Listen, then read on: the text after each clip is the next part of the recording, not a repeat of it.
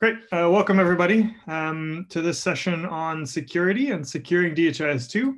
Um, this will be a pretty high level kind of overview session, particularly around the um, new processes that are being implemented uh, by the DHIS2 core team and what that means for implementations. Um, there's obviously a huge depth of uh, information that we could uh, talk about when it comes to security and privacy and how to implement those in uh, implementations, uh, DHIS2 servers, as well as just user management processes in, in countries and in implementations that are running DHIS2 servers. Um, as, as Bob is, is uh, likes to likes to remind us that could be a whole week long session by itself and probably we should have one of those sessions at some point in the near future um, so look forward to that, but this is just one hour, so we'll just do a high level overview. Um, I'm going to start with some security principles that are uh, what we as the um, as the core group, uh, as particularly the security team that has been developed uh, and, and uh, formalized here at the at the the core team, um, are trying to embody and to uh, evangelize in the community. So the first of those is robust, formal, and predictive, predictable security policy uh, processes. Sorry, my uh, uh video is in the way. Uh, processes, um, and this is particularly important so that you know what is going to happen when a vulnerability is detected in the DHIS2 software or when something goes wrong, uh, we know what to do and everyone in the community knows what will take place. Um, that goes along also with maximum transparency, which is uh, just like it sounds, trying to be as open and uh, clear as possible about what ha what happens in the uh, the process for addressing vulnerabilities or dealing with security issues, and uh, particularly with um, what happens after the vulnerability has been um, identified and fixed and disclosed, uh, going back and, and exposing or, or uh, sharing the process that went into that, what we learned during that process, uh, and so on. I mentioned disclosure. Um, this is something that's relatively new for the core team, but we are working on uh, developing a process for full and responsible disclosure of all vulnerabilities in the DHIS2 software. So when something uh, is uh, discovered, a vulnerability is discovered in, in the software, um, we will address it. We will uh, spend a, a, fair amount of time trying to make sure that vulnerable implementations have time to upgrade before that disclosure. Uh, but the goal is to always disclose those vulnerabilities in a responsible way uh, to the public so that they are uh, fully available and, and readily um, uh, accessible to everyone in that community. Uh, and the fourth principle here is to advocate for and to embody a strong security management culture. Uh, this is not only applicable to the DHIS2 core team and the security team itself, but also to all of the implementation teams and groups around the world that are building security practices on top of DHIS2 software. Um, so we hope to not only uh, lead by example in, in that sense by building our own strong security management culture, but also to advocate for the adoption of that security management culture in implementations. So we're going to talk about a few things today. Um, we'll talk about uh, what, what it entails uh, when we say DHIS2 security. There's a number of different pieces within that, um, and we're going to focus mostly on software security today, but we'll, we'll talk about what the other pieces are as well. Um, we'll introduce the security team, what that means, who they are, uh, and what, what they do. Um, one of the things that they do is vulnerability management, which is a, a formalized process and a policy for uh, how we deal with vulnerabilities when they are uh, reported to the DHIS2 core team uh, or discovered by an implementation and, and shared with us um, how we go about uh, triaging it, fixing it, disclosing it, um, and we'll even we'll talk about how that actually has played out in practice in in the last uh, just couple weeks. Um, then we will share a bit about what it looks like to secure DHIS2 for a particular implementation. So this is on top of um, hardening the DHIS2 core software uh, to prevent vulnerability, in, intrinsic vulnerabilities in that software, but also building the processes and the, the group of people and the policies on top of that software in implementations to be able to actually uh, have secure implementations of DHIS2. And then we'll see where we're going from here uh, and what, how we look forward. So what does it mean to be uh, security for DHIS2? There are a number of components of this, uh, what we call DHIS2 security. Um, the one that we're going to focus most on today is software hardening. Um, I'm not sure if that's exactly the right term, but that's what, I, what I've been calling it. Uh, and this deals with vulnerability management. So if there is a, uh, a, vulnerability in the software, in the way the software has been built, um, then that is something that could be uh, fixed and hardened the software to pr protect against uh, bad actors or hackers or people that are trying to do things that they shouldn't uh, in a DHIS2 system. And these are things that uh, are basically functionalities of the DHIS2 core software. It's not something that you build on top of it. Um, we also talk a little bit about software security features. Um, we've started to uh, really lay these out on our, our new uh, security website, which I will introduce a little bit later as well. Um, but these are things like user management, sharing settings, integrity checks, and data loss prevention. And those are all uh, things that DHIS2 can do in order to uh, allow an implementation to implement secure practices to have fine-grained privacy practices and control uh, over their users and those types of things.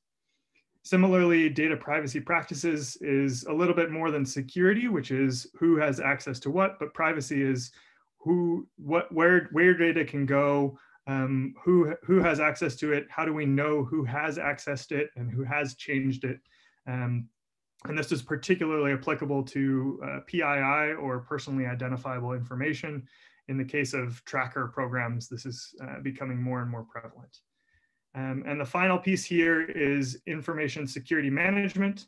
Um, this is sort of the soft security uh, practices, um, which is the people around the, the DHIS2 software um, and the processes that are built around it in order to have a, a, a culture of security.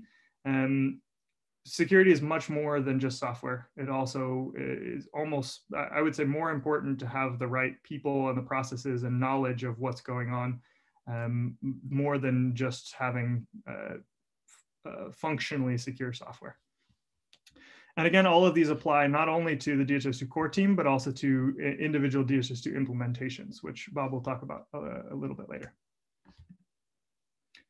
Next, I'll introduce the security team. So DHIS2 has had a security group or, or people that deal with security for quite a long time, um, but it hasn't had a formalized, uh, clearly defined uh, team that focuses on this and is, is clearly the ones responsible for when a vulnerability comes in or something like that. Um, and so we've recently created that official security team.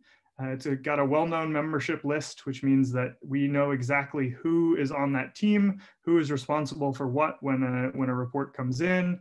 Um, and the initial focus of that team is on software security, which is uh, distinct from data privacy, distinct from software management practices, um, though we are doing a bit of all of those.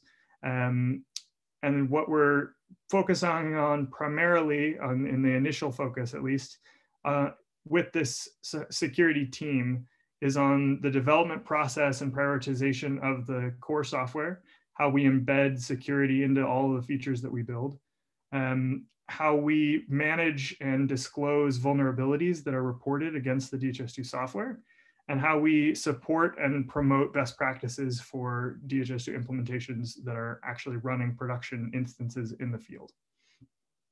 Again, this doesn't mean that data privacy is less important than software security. Uh, I'll get into more about this a, a little bit later.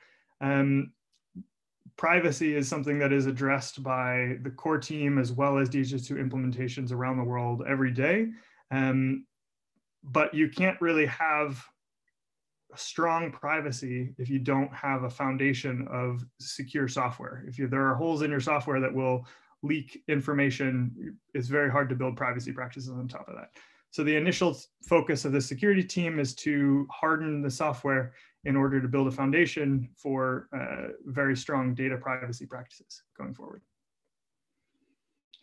I'll talk a little bit now about the vulnerability management um, that we have started to implement here with that, that new security team.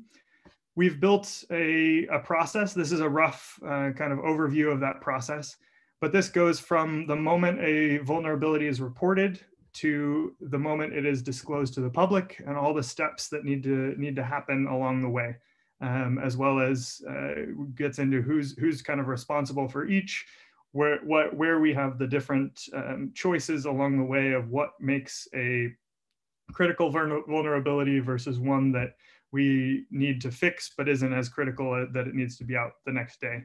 Um, there's a there's a whole process that goes on onto this. It's something that we have developed and we have started to implement in practice and are iterating and, and learning as we go as well. Uh, we also published a new vulnerability management policy on our website, and this is targeted at security researchers, hackers, auditors, uh, anybody that might be reporting a vulnerability against DHIS2. It explains some of the process that we described uh, in, in the previous slide, uh, and it also defines the scope of what, what we actually consider core software vulnerabilities. Um, so there are a lot of things that might be reported as a vulnerability, but are not something that's, um, uh, that's actually a vulnerability in the software itself. Those are things like the configuration of the play DHIS2 instance or the, uh, the configuration of an, an, email server or some uh, test instance that is set up by, by DHIS2.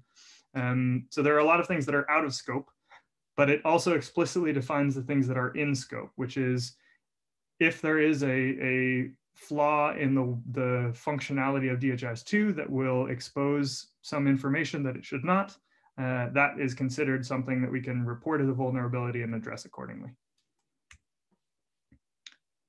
So putting this into practice, um, we had the opportunity, uh, I, will say, to put our ra rather new vulnerability management process to the test uh, just a couple weeks ago when we uh, discovered a vulnerability or had a vulnerability reported to us um, around June 8th. It was a, a pretty serious vulnerability.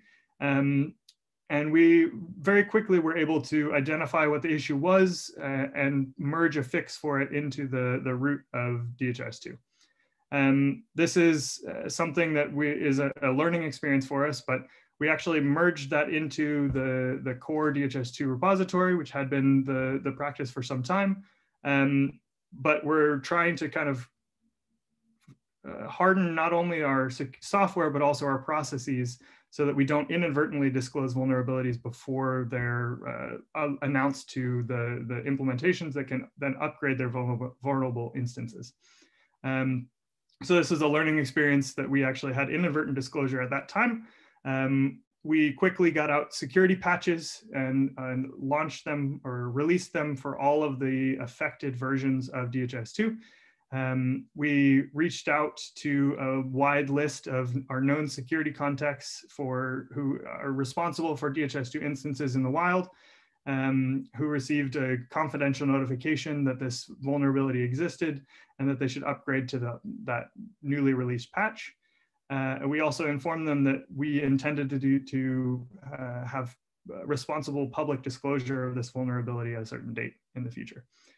Um, um, the, the majority or, or, everyone that we know of in that group uh, upgrade updated their server their server instances to a patched version and then in uh, just yesterday, June 23rd, uh, we uh, publicly disclosed that vulnerability uh, and released the patch. Um, and the patch releases were announced, sorry, to the public. We also applied for what's called a CVE, um, which was we have assigned a, a publicly disclosed uh, number that is uh, a reference to this particular vulnerability, which has been patched in those uh, released versions. Um, this is a pretty quick turnaround. The total time from first identifying the vulnerability to public disclosure was about 15 days. Um, probably in, uh, in the future, we intend to have more time between uh, discovery and fixing of an issue and public disclosure because we can have full embargoed um, uh, vulnerability uh, upgrade time or, or remediation time uh, for implementations uh, so that they can upgrade their instances that are affected before we publicly disclose that that vulnerability exists. Um, during those 15 days, information was mostly embargoed, except for the inadvertent disclosure of, of merging the fixes a little bit early, um, which is something that was a new process for us uh, at the core team, um, and is something that we are, uh, yeah, proud that we were able to implement that, but definitely have some learning experiences that we will take going forward. Uh, so what went well with this, uh, these processes in practice? Um, we responded very quickly and professionally to the uh, vulnerability as it came in and, and tried uh, to address it in a, in a responsible way. Um, we very quickly fixed, uh, identified and fixed the issue um, when, it, when it came in. Um, the patches were cut and published um, also in a, in a short time frame and the, the processes just worked in, in terms of cutting those releases and publishing them uh, and everything was was uh, automated and used our used our uh, existing systems uh, pretty smoothly. Um, we were then able to discreetly notify a large group of known implementations. Um, and this is something that we hadn't really done before. Um, but we were able to reach out to that large group and uh, get uh, positive feedback about instances being upgraded in in in a responsible or in a, in a reasonable time frame. Um, and we actually achieved our, our goal of responsible public disclosure for the first time with, with one of these vulnerabilities. Um, and that's something that we're proud of as well there are definitely some areas in which we need to improve. Um, the embargo, as I mentioned, was imperfect because we had uh, a fix that was inadvertently published to the public repository. Uh, this could be considered disclosure to a very savvy attacker who happens to be monitoring a uh, DHIS2 uh, repository and sees a, a fix go in. Um, obviously, the, the vulnerability still exists, so it's um, it's only a disclosure in that it makes it a little bit more uh, noticeable potentially to somebody who isn't probing DHIS2 for that vulnerability. Um, but it can potentially be a disclosure to, to those types of people. Um, fixing vulnerabilities without disclosing what was fixed is a difficult task. And that's something that we're working on uh, uh, implementing in our process in the future.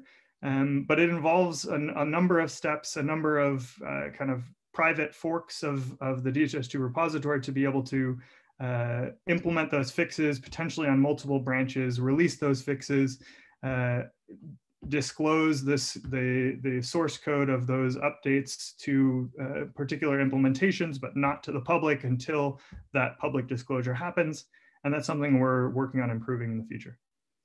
Um, Another way, area we can improve is that uh, because of that uh, um, imperfect embargo, uh, the timeline was a bit rushed. Um, so we, like I said, it took us 15 days from uh, discovery of the vulnerability to public disclosure, including a uh, discrete notification of uh, the affected implementations that we knew about. Um, and uh, ideally, we'd like that to be a little bit more extended so that uh, those implementations have more time to respond and to upgrade their servers.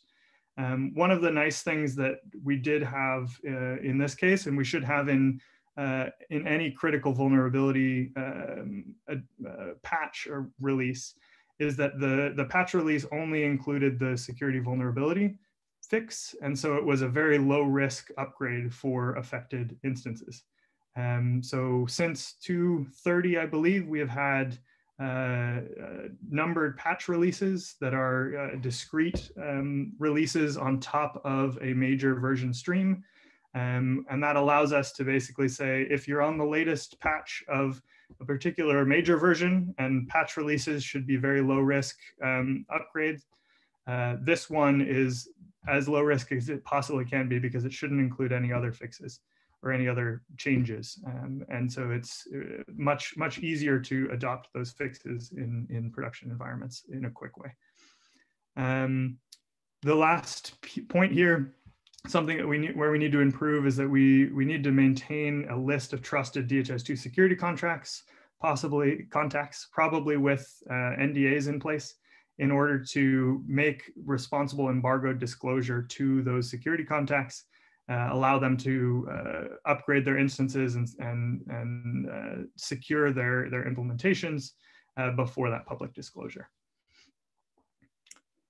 And with that, I will, um, yeah, so there's, there's probably a, a, number of questions that people have about this particular vulnerability or about our process or about our team. Um, I think we'll take maybe questions at the end unless any have come up in the chat that I want to address right now. Otherwise, I'll turn it over to Bob to talk about uh, securing DHIS2 for implementers. Thanks, Austin. Great summary of uh, learning experience to date, improve, improving of process. Um, as you say, I think we've got a way to go and it's going to be a great post-mortem now as we sit and, and figure out what we've learned from, from this one. Um, okay, you're, I'm trying to change the slide. Of course, I can't do that. Yeah, I, having one slide to say how to implement a secure DHIS2 system is, is you know, it's, it's, a bit crazy. But um, I, I did give a, a, slightly longer presentation to the Tracker Implementation Academy uh, about a month back. I mean, probably the those slides and, and that YouTube may still be found somewhere. Um, but if I were to summarize, um, I would say that the most important thing for um, an implementation to get a grip on its security management is, I mean, it sounds simple, but is to actually have somebody on your team whose job it is and it's it's kind of surprising. But I mean, in the, in the Tracker Implementation Academy, we actually asked this question. So, who on your team, as part of your implementation, is responsible for security aspects? And there was, I think, more than fifty percent of implementations said, "Well, no, they don't have that person." So, that's the first thing. It's got to be somebody's job. And I know it can be hard because you might not have a um, professionally qualified security consultant who you can just draw upon. It might be some somebody who's got to learn on the job. In a sense, that matters less. What matters more is it's somebody who it's in his job description to be concerned about security. And that makes contacts, for example, what Austin was talking about earlier. If we had a list of, of, of the security contact of every implementation, um, that would have helped with the disclosure process. Uh, that person, right, part of his job is to stay up to date with security announcements, as Austin was referring to. Uh, but it's also to have general oversight of the kind of organizational and configuration aspects and the technical aspects of the implementation. A big mistake that I have seen is that people take someone who's involved with the server administration and say, all right, you're the security guy. Um, that shouldn't be the case. I think a security manager should have a much more um, much more of an oversight role. The job of the security manager is to make sure that the server admin guy is doing his job. Um, but if you bury security management down to that low technical level, then you're going to miss out on lots of things. The second thing that's really important is to have a security plan. Um, and what constitutes a security plan is is something that may make great material for for an academy. I think we should do it definitely. But um, a good starting point is look up ISO 27001 and there's quite a lot of free resources around ISO 27001. ISO 27001 describes in quite general terms for pretty much any organization how to set about uh, managing your security. Um, without going into the details of what kind of SSL algorithms you're configuring or what have you. The kind of things that you would include in a, in a, in a security plan are you have management tools like maintaining a risk, risk register, an inventory. How many instances do you have? Where are they? Uh, SOPs around how systems get installed. Um, something very few people implement and we could do better in terms of perhaps providing some templates on or things around incident response. I mean, from the software developer's perspective, incident response to things like vulnerability disclosure is something like Austin has just gone through. But in terms of an instance in the field, when you have when you have data loss or when you have when you have a suspected uh, breach or whatever it might be, what do you actually do next? If you don't have a plan for what you do next, then the chances are that you'll make a mistake that will make the problem worse. Um, it's often described to me as if you're standing on the side of the road and you step into the road, that's your first mistake. Then you see a car coming and then you run into the road, and that's the mistake that kills you. Right. So having an incident response plan, those are all kind of things that you put into your security plan.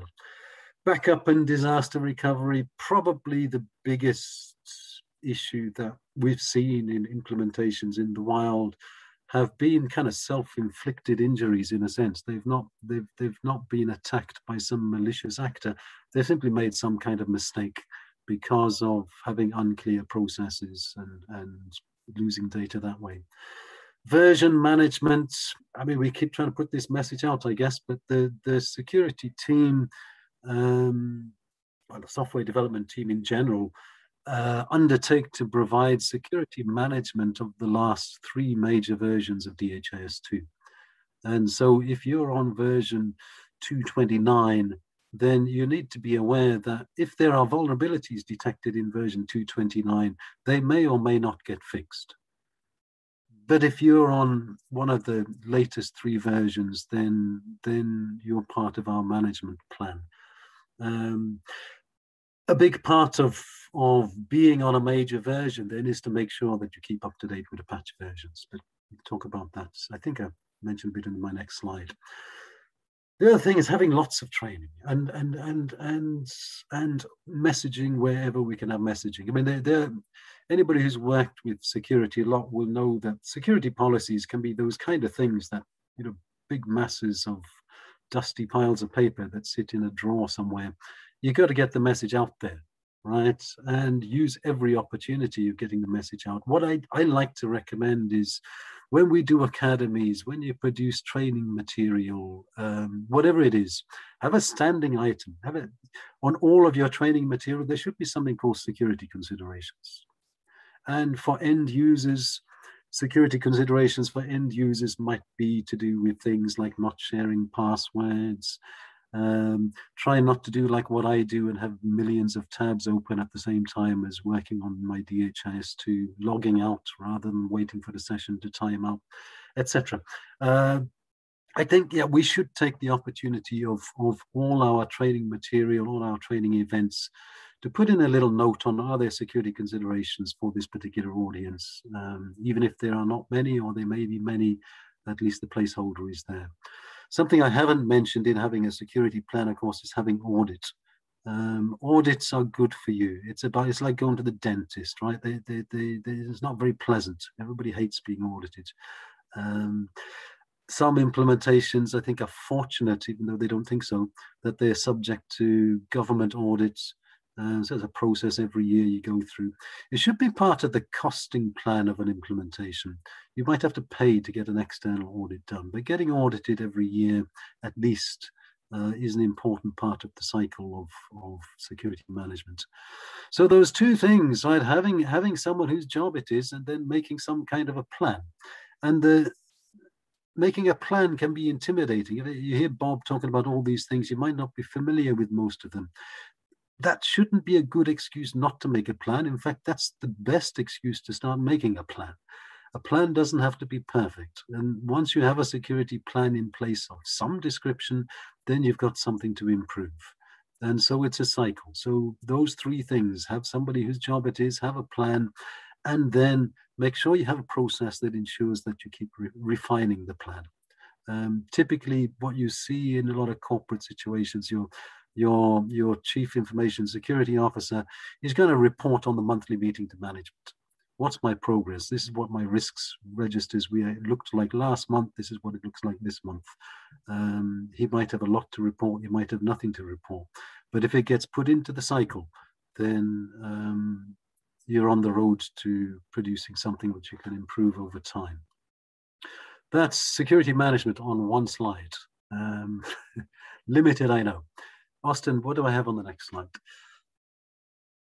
I, I will just to kind of move away from very abstract things. I mean, there are a few very particular things that we thought we'd just take the opportunity to add in here, and some of which I've already mentioned about about keeping in touch with the last three major versions. People are very cautious about upgrades, and understandably so. I mean, sometimes an upgrade can be a traumatic thing. Systems get broken. Not everything always works properly. Um, obviously, when you do an upgrade, you should have a again a process around it. Upgrade a testing instance, have have users get in to to um, test all the various functionalities to make sure nothing has got broken. There, because it's quite a bit of process around a major version. Again, it's something you're frequently going to have to budget for. Um, major version upgrades can involve new training because there may be new interface features, there may be new whatever it might be. So as part of your again, this is why security management is a management issue. It's not the it's not the server admin, right? It should be part of your annual budget that you're going to do a major version upgrade at least once a year. Because we release once every six months, that would mean you'd never be more than two versions behind. Patch releases, as I've said, contain critical bug fixes, and very often they can be related to security. So again, it's got to be somebody's job to monitor when those patch releases are made, and then to to upgrade as as as quickly as possible. It shouldn't I shouldn't have to say this, but I've seen it quite a few times, even this last year. Don't go upgrade your production instance um, without testing thoroughly on some staging or test instance, and involve users in that make backups before doing an upgrade. We had an incident, oh, I won't name names, it wouldn't be fair. We, we had an incident in the country earlier this year. Somebody did an upgrade from 234 to 235. Everything was broken when they got to 235. The only thing they could think to do was to go back to 234. So they went back to the backup and they discovered they didn't have a backup. And so they were stuck on 235. And it took probably two, three weeks to get everything back up and running again. And a word of caution about backups, you know, we go to a lot of effort sometimes to secure our databases and secure our systems, and then we make backups and we send them around to one another on email or leave them lying on our laptops and in home directories and what have you.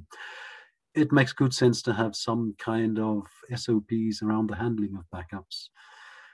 And yeah, probably my main message of the day, remember, it's not all about the back end. Yeah, um, it's a it's a much more broader concern being involved with security management of an implementation users users is probably probably the most important thing to manage outside of the actual uh, software installation a lot of cases we've got very often have very good processes around people arriving in the system and and get given user accounts and whatever but we've got very few, if any, processes around what happens when somebody retires from the service or, or, or, or resigns or gets kicked out. Uh, many systems I know have probably, particularly the ones that have been going for a long time, might have 30% of the users who are now dead. Um, that's really not too much of a concern until the dead users start logging in. Um, and that happens, unfortunately, as well. So your security management needs to needs to have a, a, kind of holistic approach and as i say tools like iso 27001 it can be quite a good starting point um, and yeah we're hoping to put a bit more work into developing more kind of um, perhaps what can we call it not dumbed down but um, implementation guidance around taking something which is complicated like ISO 27001 and putting it into a palatable format that we get the major aspects of it out. But these are the kind of issues which would be paramount. Austin, do I have another slide or am I done? Ah, this was Yeah, the, this is this is from our presentation to implementers. Um, I think Austin has covered pretty much all those points already. Thanks. I'll take questions, I guess, at the end if we get a bit of time. Happy to continue the discussion with anyone who wants to follow up.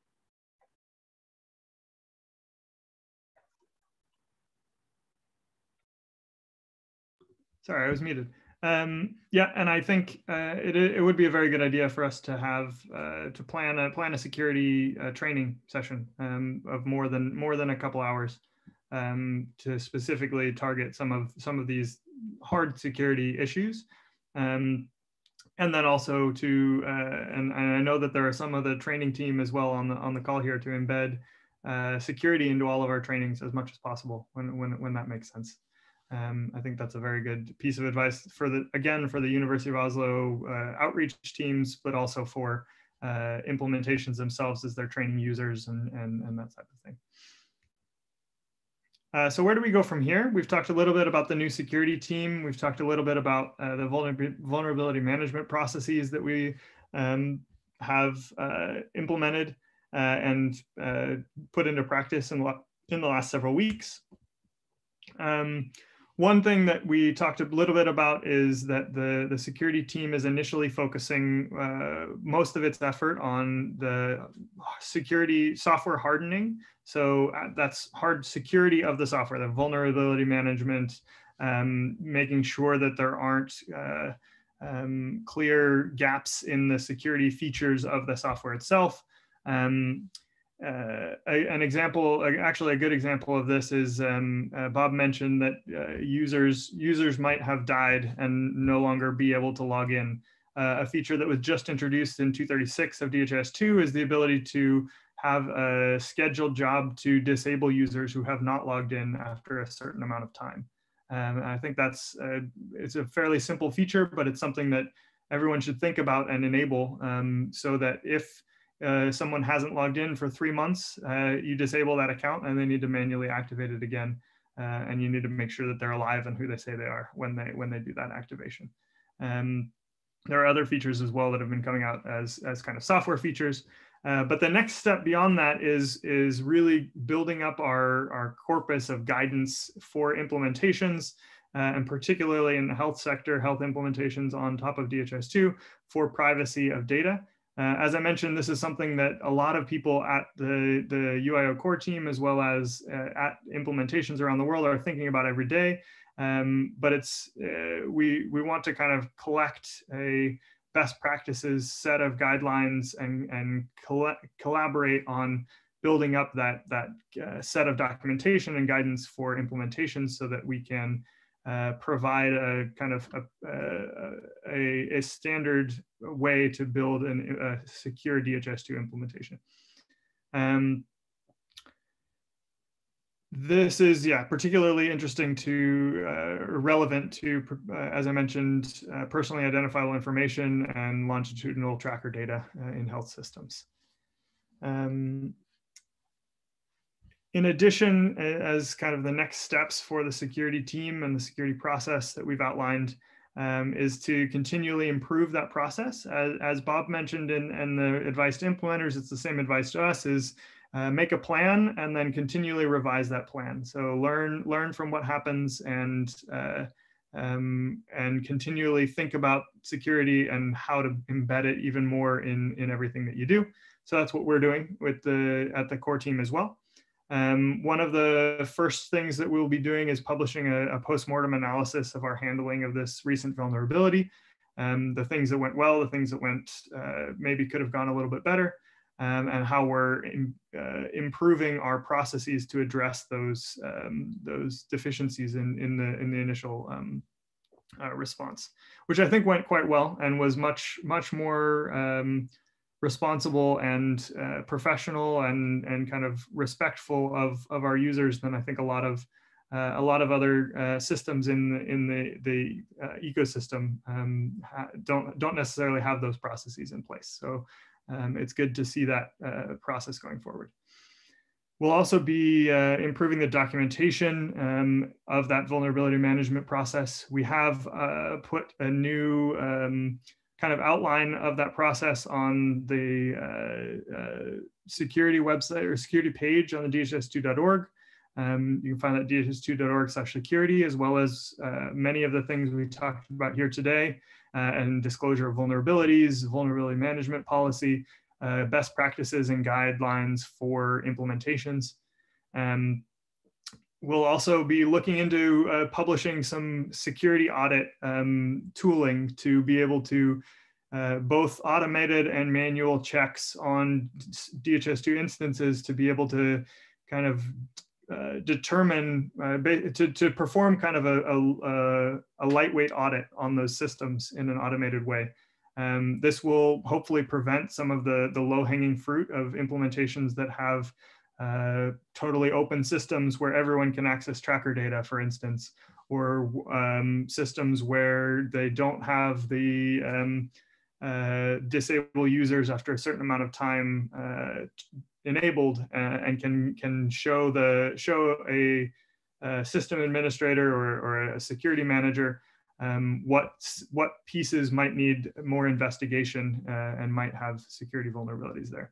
And some of those will be manual processes or manual checkboxes as well, such as do you have a security plan? Do you have a security manager? Who is your security contact? Those types of things. Um, we're also ourselves as the, the University of Oslo uh, uh, core team, DHIS2 core team, uh, hiring a uh, information security manager who will help to kind of uh, expand this uh, security posture and strategy and implementation guidelines, support and guidance um, around security and privacy, um, and particularly around individual level data um, potentially that's something that the the security team um, and, and, myself are kind of stepping into that role in the moment. Um, but we want to have someone who's dedicated to that and in a in a management uh, position as well. Um, we'll also be publishing and promoting security and, privacy recommendations for implementers, uh, as I mentioned, to kind of uh, help to promote that security uh, um, that security management um, context and that security management um, uh, I forget the term that I used in the in the guidelines, but it was culture, um, security management culture uh, in implementations that are built around DHIS2. Um, and obviously, we're still embedding uh, security into the development teams themselves and the features that we build and building more security features on top of DHIS2, such as uh, token authentication and some other things that are coming down the line uh, we've recently um, done some significant upgrades. Um, Morten Svanes, the, uh, our security engineer, has done some significant upgrades to some of the security infrastructure in the DHIS2 software itself, uh, implemented things like uh, OpenID Connect for uh, authentication and those types of things. Um, so we'll be pushing that forward as well going to reiterate the security principles um, and just very simply uh, these are these are what we try to embody and try to uh, promote uh, in in the community. Robust, formal, and predictable security processes, maximum transparency, full responsible disclosure, and strong security management culture. With that, uh, I think I can we can open it up for questions. I can also show the the dhis2.org/security website if we don't have too many questions, but I'm sure people are are uh, raring to raring to ask us some things. So let me go ahead and uh, see if there's anything in the chat or Martin or Bob, if you want to shout out to me if there's anybody, any questions that have come in so far. Yeah, there's been quite a few questions actually. Uh, I'm not sure where to start, to be honest. um, we are going to be posting these in the community practice, of course. Um, so actually, if uh, anyone wants to make a live question, uh, why don't you raise your hand uh, and we can answer that question here. Yeah, I've been I've been answering questions uh, as you were talking, Austin. Claudia has just answered something. Has just asked us something there. Claudia, would you mind reading out? Martin, is she able to unmute? I can make it so. Go. Uh, hi. Hi. Can you hear me? thank you.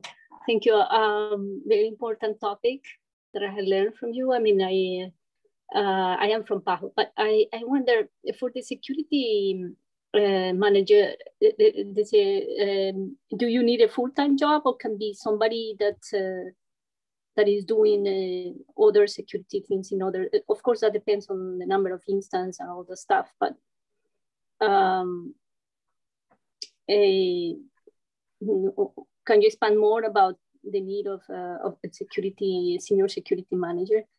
Mm -hmm. Thank you. Yeah, th th thanks, Claudia. Um, I think Grant has pretty much answered you in the chat there. Um, look, uh, an information security officer is quite a highly skilled management job.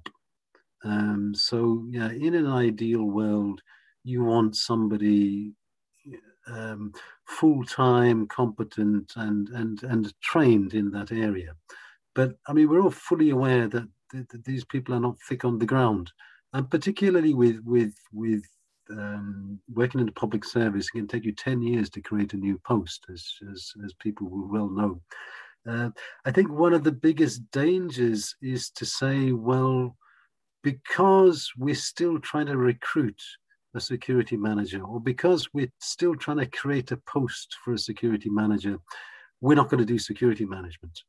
Um, uh, so, yeah, ideally, yes, you do want somebody uh, as good as you can get in, in that security management post.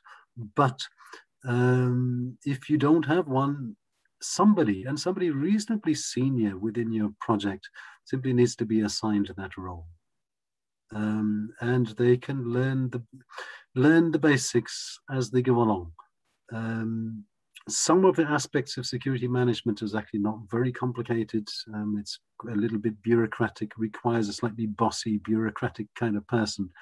Um, and there are quite excellent training courses available as well.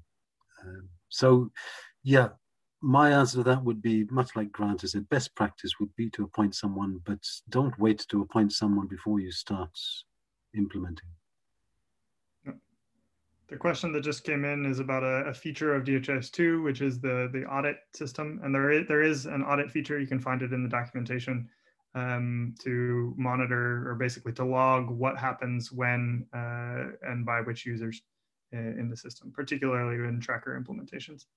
Um, we also have a feature called Break the Glass, which you can learn about. It's also listed on our um, security uh, webpage, which allows a user to uh, in an auditable way request access to a, a tracked entity instance, for, for example, that it, that user doesn't nat naturally have access to. It might be from a different org unit um, that is has been referred to their system or to their to their org unit, um, and you can enable them to basically uh, provide an audit message to say why am I requesting access to this uh, person that's outside of my org unit uh, assigned org unit um, that goes into the audit log and you can you can review that later. So yeah, the answer is yes, there is an, an, an audit feature in DHIS2.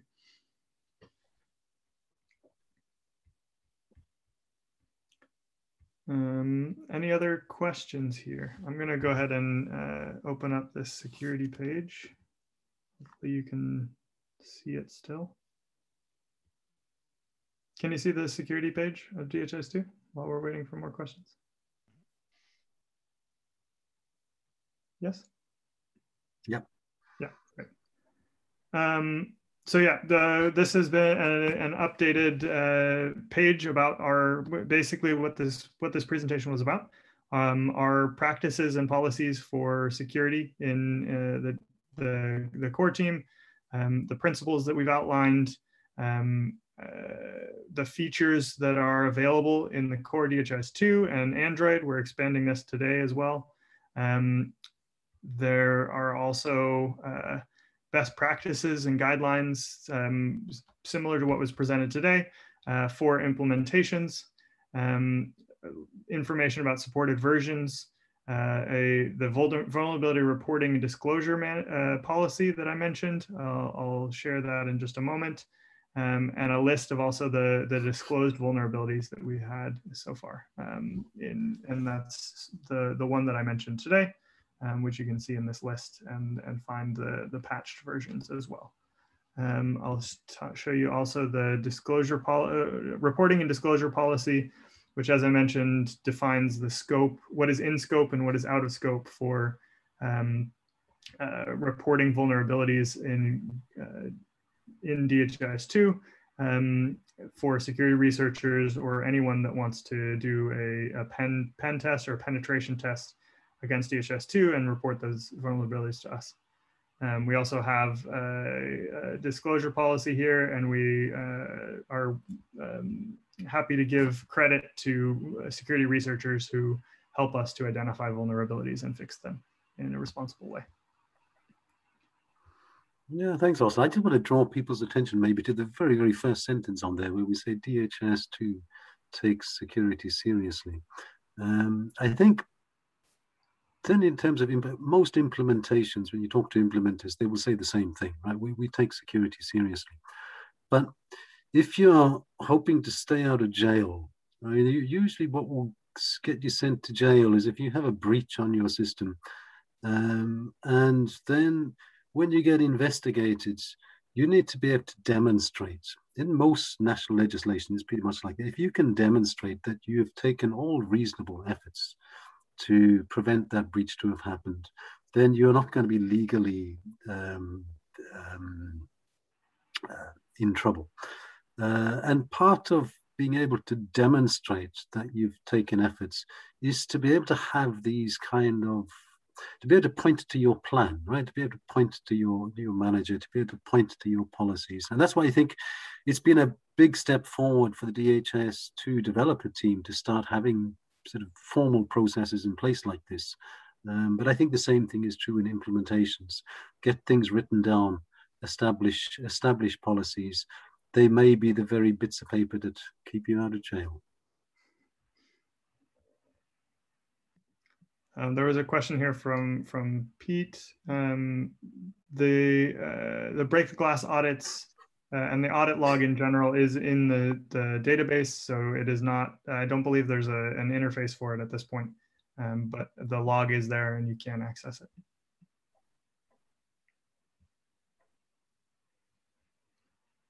Um, we're getting close to the end here. Does anyone else have any any questions or um, comments, feedback, concerns? We're we are transparent and trying to trying to learn as we go as well. So very very open to any any comments that anyone has, um, and we will also be looking to um, uh, build out our our training material around uh, security management policies uh, and practices.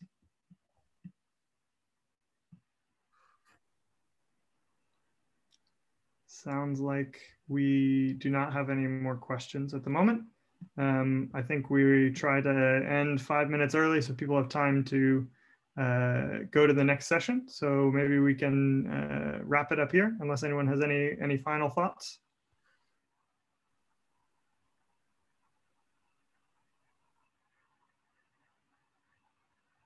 No final thoughts. Okay.